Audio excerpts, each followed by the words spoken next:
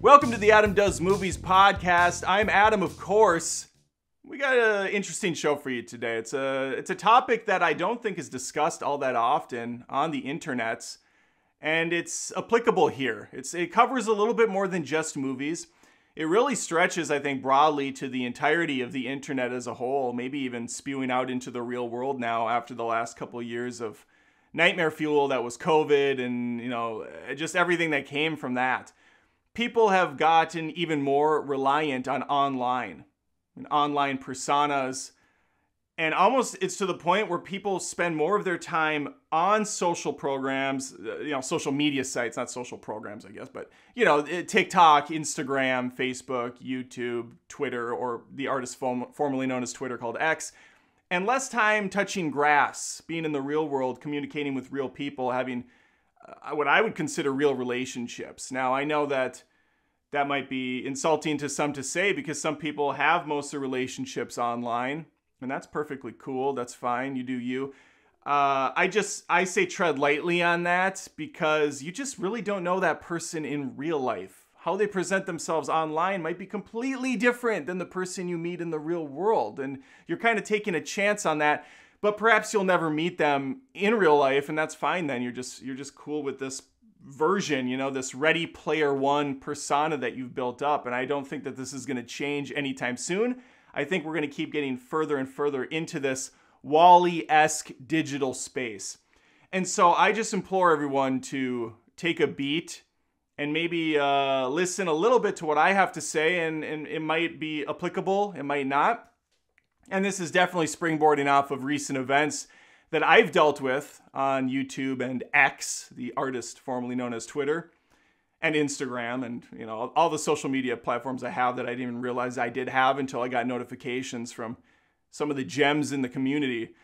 Um, but everybody's been here, and I think a lot of again, I, I, am I'm, I'm pretty much nobody on the internet, but celebrities, uh, people of interest, uh, they, they get this on a day to day thousands of times. And that's the hate speech. Communicating with a person in a way that you think is not a problem. I'm not, and I'm not necessarily addressing you as in you, but other people. We're just saying you as in a, a catch all of sorts. But what I've seen is a big uptick over years in not just bullying, but these tribal ways of communicating with each other and attacking each other and pretending like it's some form of like I don't even uh, like it's some way of not retribution. I guess is the word I'm looking for. Retribution, a way of saying like you hurt us, so we're gonna hurt you. Hey Taylor Swift, you uh you pushed out your concert date. Now we're gonna send. Well, I don't know if anybody goes after Taylor anymore. She's got an army of Swifties at her side, and I hear they're pretty deadly as well. And that just goes to my my daughter loves Taylor Swift. This will come back around, believe me. My daughter loves Taylor Swift. She she's made a bunch of bracelets. They're adorable. She has like a Taylor Swift bookmark that features all her different albums. She loves her. She adores her. She thinks she's great. I don't love or adore anyone um, to that degree. Obviously, I love my kids and my wife, and I guess I adore them because I know them on, on a much deeper level, and my mom, and you know some of them. I'm talking about people outside of my my sphere. I don't love Patrick Stewart, even though he seems like a really cool guy with a lot of great stories, and I would like to meet him someday. But I would never like idolize or worship him as a person, and I know that he can do wrong. He probably has done wrong. We all have at some point. But even Swifties can be vicious and they can attack people just for an opinion on Taylor Swift's music. Like, oh, I don't like this song. And then boom, boom, boom, boom, boom, boom, boom, they're just destroyed by this little vicious army of girls. And some guys, of course, some guys. I, I, I celebrate Taylor's entire catalog. What happened to me recently was I reviewed some movies over the course of this year. I'm not going to single out one individual movie, even though I think a lot of people in my community will know what I'm talking about. And every time I did one of these movies, a rabid fan base would come after me and demand I pull down my review that's on Rotten Tomatoes, or pull my video off of YouTube, or kill myself, or call me a bad father, or say I shouldn't have kids, or, you know, there are all these disgusting attacks. These really personal attacks that go after my looks or my character or my actually no one really goes after my looks. I think they know that that's that's not a war they're going to win. I'm I'm a god amongst men. But they go after other aspects of my life, and it's pathetic. And again, I'm just getting a small fraction of what other people are getting. I know a good chunk of people, even within my community on YouTube, other movie critics that I talk to week to week. We'll just check in. I'll say, hey, how's it going? You want to come on my show sometime?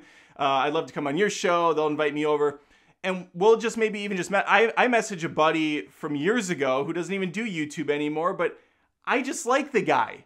I've never met him in person, but he seems down to earth and reasonable and he he was I mean I can say his name John Paula. John Paula had a, a show called Movie Night. It was fantastic. He put in a lot of work on his reviews. He definitely knows his shit about movies and we like to debate and talk about what's good. He likes movies I don't like and whatnot, and it's all very civil and fun, and, and we can move on as adults do. But they've all dealt with the same crap I've dealt with and other people online, and it's just sad that it's almost an acceptable thing now. Like, oh yeah, I put out a review of Star Wars The Last Jedi, not me, someone else, and I really liked it. And all these Star Wars guys came at me and just went off telling me I should have my critic license revoked and I should never talk about a movie ever again. After hundreds of movie reviews of people agreeing with the person. Maybe not always, but most of the time. But then one review, just that that's the one that kills it all. And they unsubscribe and they call them a bunch of names and they they post them on Twitter, they make videos about them or they they show them in you know like compromising positions that they doodled in some weird program and then posted up. Just a bunch of fucking terrible stuff that no one should have to deal with. And i think it really comes down to accountability. Something that's always been a beacon of the internet after all these years is anonymity if that's how you say that word. I can never say that word right. But essentially you're anonymous on the internet. I'm not. I'm adam Olinger at Adam Does Movies. I put myself out there because I want people to know who I am. I want people to see the real me. And I am gonna make mistakes. I'm gonna get things wrong. I'm going to go against the grain. I'm going to say stupid stuff. I'm gonna say jokes that don't land. And occasionally I'll put out a movie review that doesn't align with the general mass audience or even the small amount of critics that are currently reviewing a movie or a large amount of critics that are reviewing a movie, it doesn't matter. It's one guy's opinion at the end of the day. But does that mean I should get fucking destroyed over it and an angry mob should come at me? Of course not. The same way anyone I disagree with shouldn't and this could be a generational thing. I think it is. I think that younger generations maybe are more just open with being kind of asses online, and that's just perceived as the new normal, and it's fine. It's not a big deal. It doesn't hold weight to them the same way. Maybe. I don't know. I'm in my 40s now. I'm 41. I, I was joking with a buddy of mine that he and I and my wife and other people of our age group are daywalkers. We're like Blade because we grew up without the internet, but we're young enough where we're, we, we were the ones that kind of went into the internet and learned it on the fly. But since we are older, we're not growing up with kids who are on the internet and they're using it in a completely different fashion, in a different way. They're, they're more knowledgeable, they're quicker to the draw, they're sending out memes constantly, they know all the, the new trends going around. Uh, and that there, there's just a disconnect there, I think. So when I'm told over and over again to kill myself or to seek another profession, or when I'm completely misrepresented um, and, and I'm just just false stuff is said about me, it's really frustrating to just keep my mouth shut and not want to fight back. Like, you didn't say a single nice thing about this. Well, yes, I did. I have video proof that I did. But what do you say to that? You just let them vent their misinformation? I guess so. That's what you have to do, right? I've seen tons of celebrities. I've seen fucking like billionaires online having petty fights with what's probably a 16 year old because there's that age gap disconnect where, like, someone like me, I want to fight and defend myself to the death over my own opinions because I know me more than 18 year old Derek does. Derek doesn't know shit about me. Derek probably doesn't know shit about anything. He's 18. He's got a lot of learning to do. No offense, Derek. You're, you're probably a very sweet kid. Young man, whatever. It doesn't matter to me. You're all kids at this point. And my point is this I wish there was a way where we could have a conversation again without it turning into petty name calling, ugly arguments, bad faith dialogues. Just get back to basics.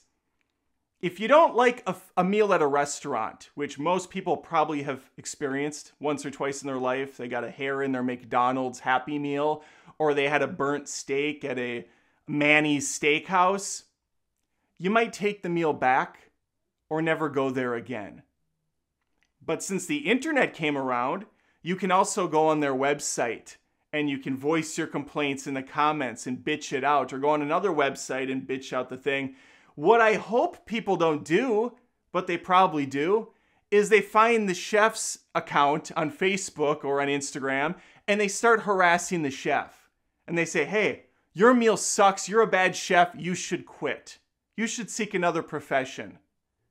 We're going to dox you. We're going to find out where you live. And they make these vague threats. Or honestly, people are so unhinged today, I don't even know if they're vague anymore.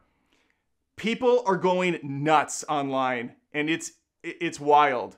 And to say that they're just ad hominem attacks or they don't mean anything and it's all just for the for the lulls and it's to own the person because they hurt you in some way by having an opinion that didn't align with yours or it came out too scathing or insulting or just so far beyond the pale that you have no other re- you have no other resort than to just keep hitting at them and going on all their videos and making mean comments just to take them down a peg because they're clearly too happy in life or they're too confident in life for you. I just, I don't, again, it's an age thing, maybe, but there's also a bunch of middle aged men that do this shit. They thrive on this crap. I've brought these guys up many times. I'm not going to go down this hole, but there's a sector of middle aged dudes that just want to be mad about everything and like-minded ilk will go to their videos and they'll be like yeah let's stay mad at this let's let's hate on this let's go after this and let's own all of these people just like stick it to them because then when it's all burned down it'll get built up better. That's a big problem i think. And i don't know how to solve it. I stay in my little bubble, my little echo chamber with my cool movie friends. It slowly grows over time.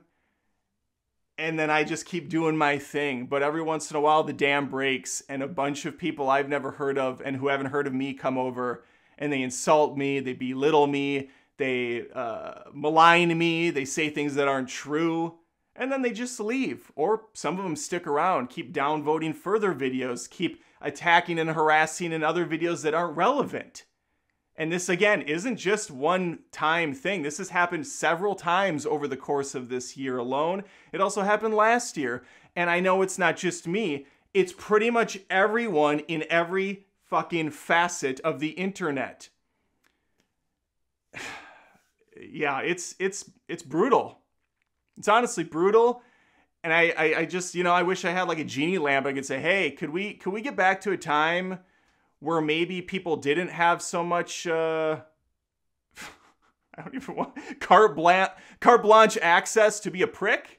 Like, is there some sort of accountability we can throw on people? I think it would be great if there was just even an age checker. I think that would go a long way. Just an age checker.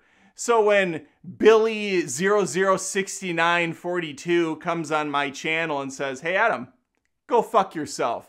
I can see that Billy's 15 years old. There's just a little age thing next to him. And I know that could that could pose a lot of other problems, especially with the pedo community. So maybe we don't do that. But if there was just some way to have m- monitoring of these little shitheads and of these I, I don't know. I'm just talking out loud. Obviously, it's a problem, and we as the human population have no way of resolving it, or the, the smarter people than me, which there's a ton of them, haven't figured it out. They've gone to the lab at YouTube and they're like, we don't know how. We don't know how to isolate this. It's just kind of the Wild West out here, and I guess that's just how it's gonna stay. Um, yeah, I don't know. I, I just I wanted to get this off my chest. I just wanted to have an open dialogue, kind of what's been bothering me lately. You know, I know I obviously noticed that years ago, back when Facebook was popular for just kind of sharing pics of where you were eating at or where you were going for the weekend and then it was like family photos and then it was like look at my baby and then it turned into kind of like sympathy posting where feel bad for me all the time and then it kind of turned into political Facebook. And now I don't know. I haven't been on Facebook in years. I have an Adam Does Movies Facebook that I don't use. Sometimes Instagram posts to it when it feels like it, since they're both owned by the same meta company. I would assume it's just garbage. I, I would imagine it's it's just a complete shit show over there. And I don't know, Instagram seems to be nothing more than just promoting your own stuff at this point. TikTok is uh, one step away from being OnlyFans, as far as I can tell. And YouTube really seems to be prioritizing hot takes and outrage videos. And that's probably why my most recent one got a little bit of notice, a little bit of traction because of my hot take on Godzilla minus one. And a, a lot of that community, you know, blames me that I did it on purpose. And I can I can assure everyone that that wasn't the case. Like I just I didn't really like the movie obviously, uh, uh, I'm in the complete minority as far as the people that have seen it so far. We'll, we'll see what happens when it hits a wider release.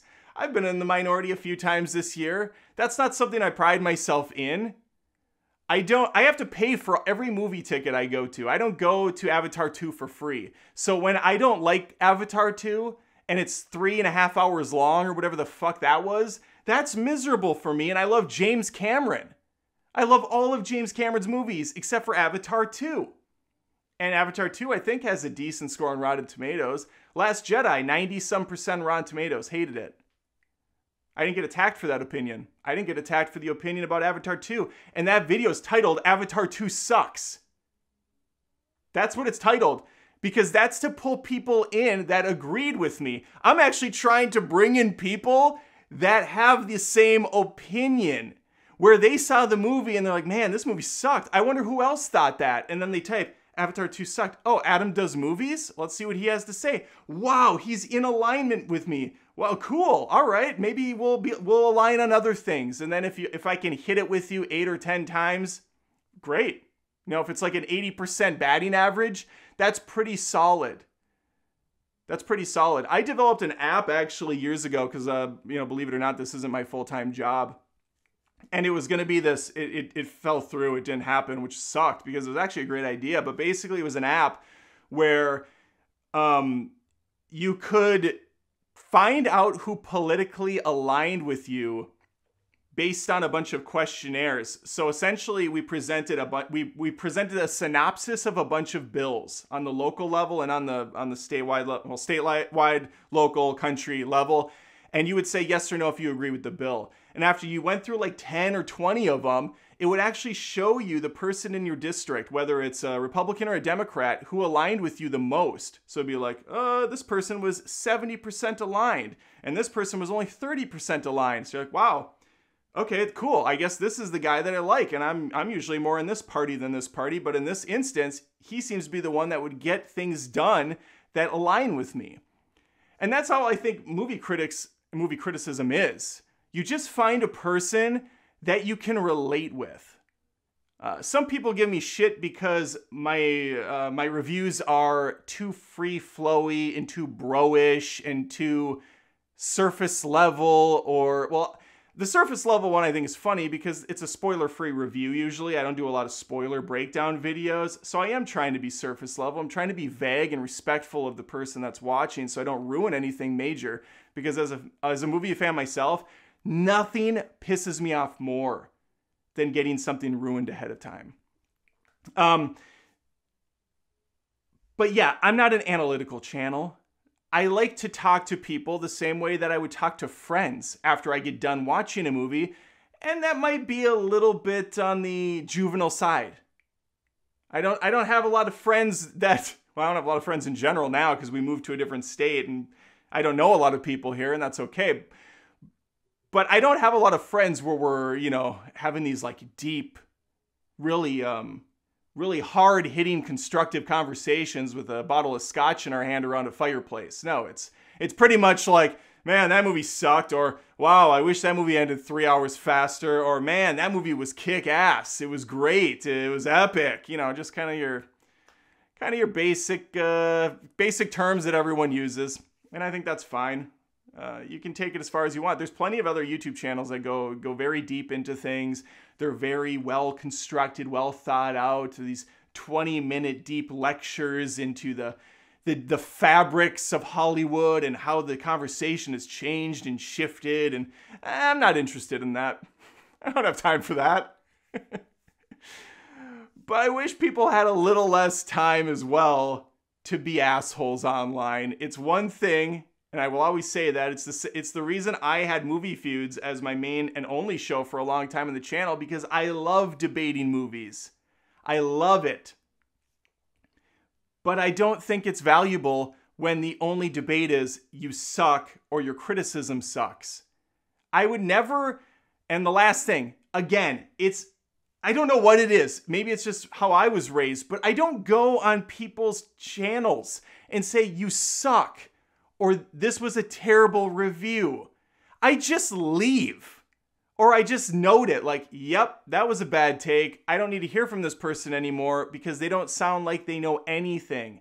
Or, man, that was a bad take, but I kind of like this dude and I like his energy. Let me see what else he has. I've actually done that a few times. Jeremy Jahns, I remember watching a couple of his videos and not agreeing with him, but he had a fun energy to him even Angry Joe back in the day, I used to love his video game reviews, but I thought his movie reviews were pretty terrible. But I like the guy, he's funny. And of course, Red Letter Media, those are a big one for me. I'm a big fan of them. Although I haven't watched any of them in a long time because I'm just focused on my stuff and I don't want to I actually don't want to get any of their you know their thoughts mixed in with mine because I want to leave a movie and I want to present it and then maybe I'll check out what other people are saying, but there's just not much time anymore. Anyway, I'm trailing off all over the place. I just wanted to bring up the conversation of maybe conversing with each other, adulting better with one another. And maybe, you know, there, there's some solution out there that I just haven't thought of that you have. I would love to hear it in the comments below. Do you know? Do you know the recipe to get people to stop being assholes to each other? To maybe have a grown up dialogue? To maybe check their facts ironically before telling other people to fact check? That was a that was a big one I liked in this in this Godzilla review. Like this guy knows nothing about uh, the history of Japan. Like like like I don't know about World War II or Ground Zero or any of that stuff. But it, it was like he doesn't know anything about this, and then they'll go ahead and say something completely infactual about me. It's like um. I actually didn't like that movie that you said I liked. Maybe you should check it out. I'm not a Disney shill. I'm not a Marvel shill. I actually hated a lot of the recent movies I take it movie to movie. I don't care what company puts it out. I care about the end product. Okay, those are my thoughts. That's my little spiel, my little rant, whatever you want to call it. Let me know in the comments below. If you're on Spotify or Apple Podcasts, thank you for listening. Keep it up. I appreciate it. Share it around if you can. I'd like to have the podcast grow more by 2024. Let's keep it keep it cooking up in here. And thank you for all the support this year on YouTube, especially during those live streams that I post Tuesday nights and Friday nights. They've been a blast. They've been spicy lately, but they've they've also been awesome and eye-opening for me just seeing how great the community has been. All right, with that, I'm out. See you next time.